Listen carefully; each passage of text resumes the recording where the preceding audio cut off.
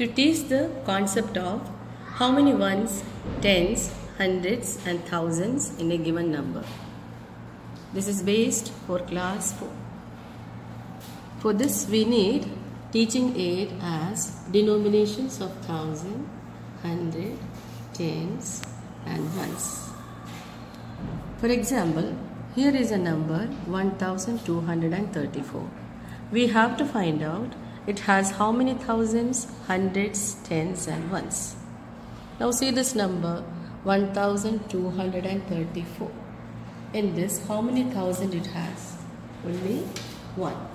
So we can write it as 1000 over here. Now we will find out this number has how many hundreds. I am going to replace this thousand denomination by hundreds note. Now see we have altogether 10 plus 2 12 hundreds. So the answer is 12.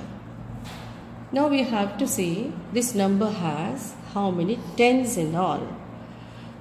Now I am going to replace 100 note by tens.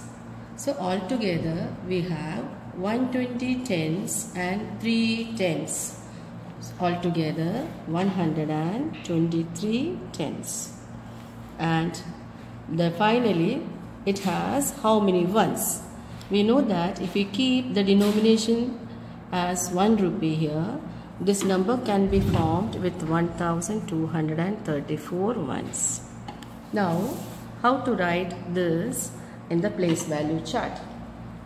I am writing this number 1234.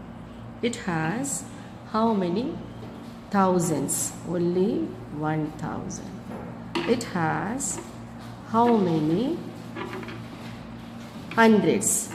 It has 12 hundreds.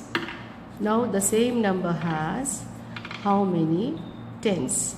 It has 123 tens. Now it has how many ones? 1234 ones in 1234. Thank you.